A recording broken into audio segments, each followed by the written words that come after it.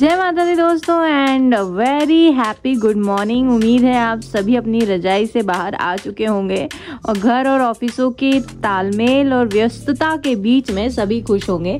तो फ्रेंड्स आज मैं बना रही हूँ नॉर्मल सी करी। पनीर में जो मैं यूज़ करती हूँ टमाटर प्याज और बादाम वो उबाल के आ, क्योंकि मुझे फैटी लीवर आया है तो मैं तो नहीं खाऊँगी रोटी सब्ज़ी। मैं सिंपल सोच रही हूँ कुछ वीक में एक एक दिन फ्रूट्स ज़्यादा खाऊं या पूरे दिन या लंच स्किप करूँ और फ्रूट्स ही फ्रूट्स खाऊं तो मैं अपने लिए कीवी और ग्रेप्स खाऊँगी मैं। मालवजी गीत के लिए बनेगी ये वाली करी। आ, अच्छा लगता है दोस्तों हम लोग तो वीडियो के थ्रू अपनी कहानियाँ बताते हैं और आप लोग मैसेज में अपने राय देते हैं या कुछ बातें बताते हैं तो ऐसे ही तो कम्युनिकेशन बिल्टअप होता है और आ, अच्छा लगता है।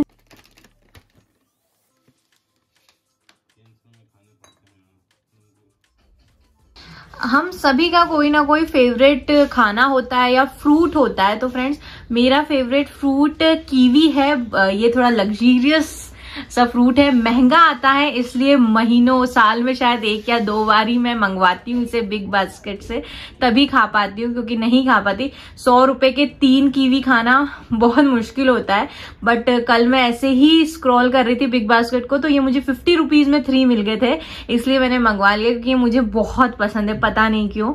और ग्रेप्स भी पसंद है, पता नहीं ग्रेप्स का सीज़न है या नहीं है, पर अब तो ऐसा हो गया कि हर सीज़न में हर फ्रूट एंड वेजिटेबल अवेलेबल होती है तो उनका स्वाद ही चला गया है। पहले वाली बात तो रही नहीं। तो आप लोगों का फेवरेट फ्रूट कौन सा है? एक्सोटिक फ्रूट कौन सा है? ज़रूर बताइएगा। तो गीत के जो रिहर्सल है स्टेज की वो सही चल रही है। हाँ ये पानी गिरा है किसी बच्चे ने, गंदे बच्चे ने।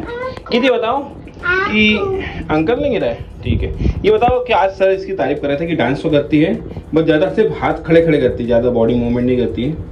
और गाने पता चले गए नाच, नाचो नाचो, और एक और कौन सा है?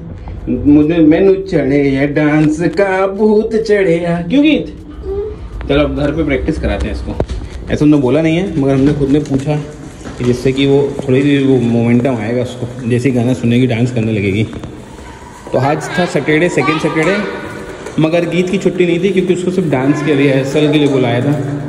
क्योंकि टोंती को उसका है वो एनुअल फ़ंक्शन कुछ आया है प्रो ये देखते क्या है। ये जो करी है, टमाटर प्याज और बादाम की, बादाम के छिलके निकाल के इसे सिंपल सा पीसना है मिक्सर में हमें। और उसके बाद जैसे सब्ज़ी बनाते हैं, तेल, जीरा डाल के इसे फ्राई करना है, पानी डालना है। ये करी बहुत टेस्टी लगती है। इसके अंदर यूजुअली मैं फ्राइड पनीर डालती हूँ या कोफ्ता बनाती हूँ, तब इसे यूज़ करती हूँ। लेकिन कोफ्ते तो आज है नहीं। और मालवेजी पनीर नहीं खाते तो आज सिंपल सी सब्ज़ी बनेगी और रोटी तो बन चुकी है।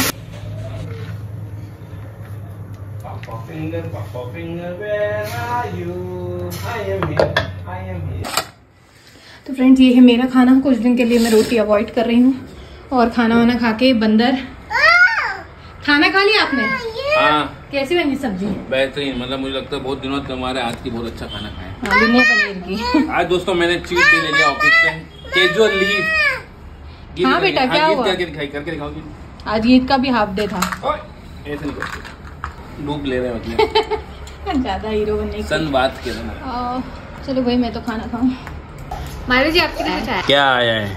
मुझे ये नहीं समझ में आ रहा कि मेरे दोस्तों का कुरियर आपके नाम पे क्यों आ रहा है क्योंकि वो तेरा एड्रेस उनको ऐसा लगता होगा कि मेरे नाम पे घर ऐसा हाँ, हाँ, हाँ, हम तो कुछ है ही नहीं मतलब मेरे आप ही सब कुछ हो मैडम आपके दोस्त। क्या इसमें? भेजा आप ही को है। आप नहीं मुझे आपको ही भेजा। है मुझे नहीं भेजा भैया मुझे कोई कुछ नहीं भेजता।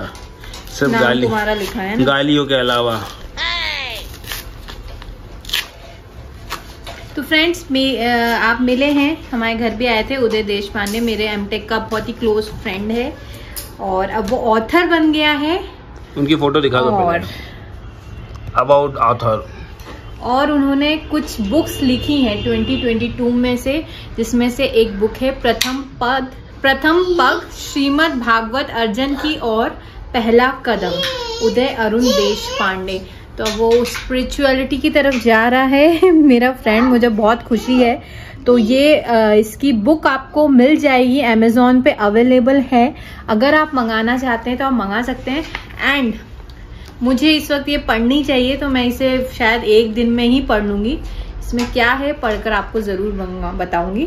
इसमें एक तरीके से यही है कि लाइफ में हमारे जीवन में जो कठिनाएँ आती हैं, हम उसका राह ढूंढते हैं, उसकी सोल्यूशन ढूंढते हैं। तो उससे रिलेटेड बातें कही गई है। कृष्ण जी ने जैसे कि गीता का सार दिया था, उससे रिलेटेड उदय ने अपने इस पुस्तक में लिखा है, बताया है। मैं आपको पढ़ के और बताऊँगी। लेकिन बहुत छोटी सी किताब है आप पढ़ सकते हैं आपको नई राह मिल सकती है। अमेजोन पे अवेलेबल है जाकर ऑर्डर कर सकते हैं। ये जो लड़की अभी मोबाइल में चार्जिंग लगाना सीख रही है यही हल कल हमको सिखाएगी कि पापा ऐसे नहीं मोबाइल चलाते हैं पापा ऐसे नहीं करते हैं पापा ऐसे अकाउंट नहीं ओपन करते हैं इंस्टाग्राम में या कोई और ऐप में।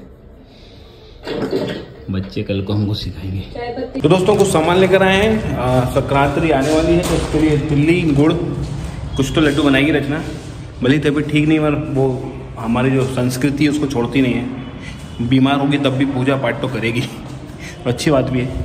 इंदौर में बहुत सी जगह काइट्स फेस्टिवल होंगे कल, संक्रांत पर। मुझे सही बताऊँ पतंग उड़ानी नहीं आती। मेरे ऑफ़िस में भी होते हैं, मुझे नहीं आती।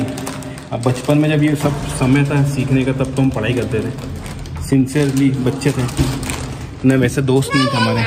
हाँ गीत पापा लेके आ गए कुछ। ओ। तो रचना ने ओवरऑल चेंज कर दिया थोड़ा सा लुक जिससे कि पॉजिटिव एनर्जी आए, बहुत नेगेटिव एनर्जी आ रही थी इसलिए। बेटा बेटा बेटा, थोड़ा रुक तो जा, पापा को आने तो दे, खोल लिया उन्हें अपने काम की चीज़ निकाल ली, बस? रख दो, ये पापा को आप बंद करना पड़ेगा आपको खिलाने का सामान। तो दोस्तों, अगर आप नेटफ्लिक्स पे देखना चाहते हैं ट्रायल वाई फायर जो कि अवय देओल की वेब सीरीज़ है मुझे लगा था मूवी, मगर वेब सीरीज़ है।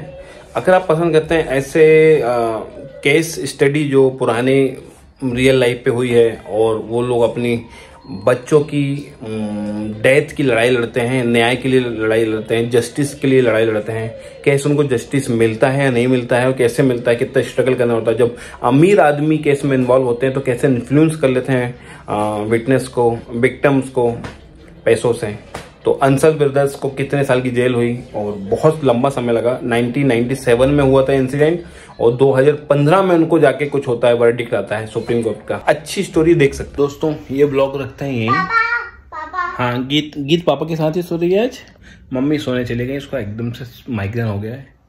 और क्योंकि उसको फैटी लीवर है तो वो थोड़ा सा हेल्दी खाना चाह रही थी। मिलते हैं कल एक नई उम्मीद के साथ नए हौसले के साथ जो कि हम लूज़ कर रहे हैं कहीं ना कहीं। रचना को एक बड़ी बीमारी है। और जो हम अभी इग्नोर कर रहे हैं, मगर वो इन फ्यूचर तो शरीर में ग्रो कर रही है धीरे धीरे इन फ्यूचर हमको वो फेस करनी ही है। बाय कल अच्छा होगा। और जो लोग के साथ अच्छा नहीं हो रहा है, उसको भी उम्मीद रखनी चाहिए कल अच्छा होगा। हंड्रेड परसेंट दोस्तों अच्छा होगा।